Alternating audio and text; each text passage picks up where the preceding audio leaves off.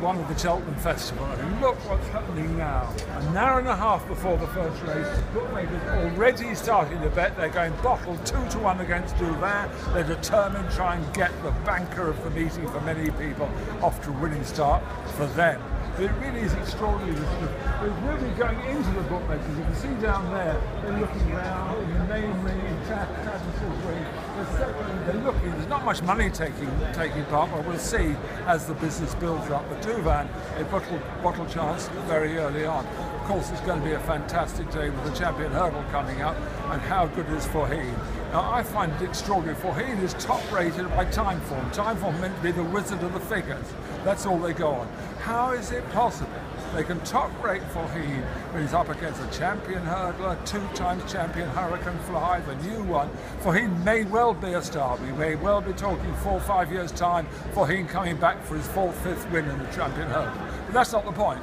At the moment, he's not done it. And to justify, some people forecast he'll go off odds on top price around five to four. You've got fantastic offers from the bookmakers at various prices you can take, take the best prices. But how on earth can Faugheen be top rated by a form student on what he's actually done on the racecourse? It's no good saying on potential and improvement, and that's fair enough. He's not actually done it yet. You're taking a short price. I think that the new one, a terrific chance, the new one, unlucky last year.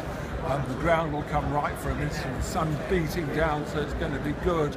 A bit of soft in the ground, but good to soft. Jezki, of course, the reigning title holder, and wouldn't it be marvellous? Hurricane Fly, a 10 to 1 chance if the old boy come back and win his third champion hurdle.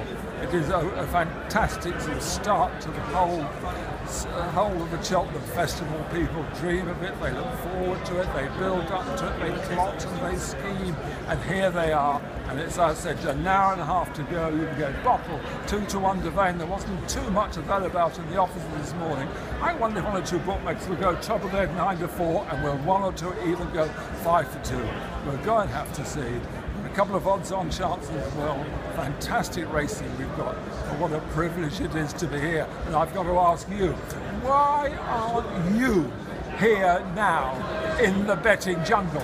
Why aren't you down there taking on these bookie jappies?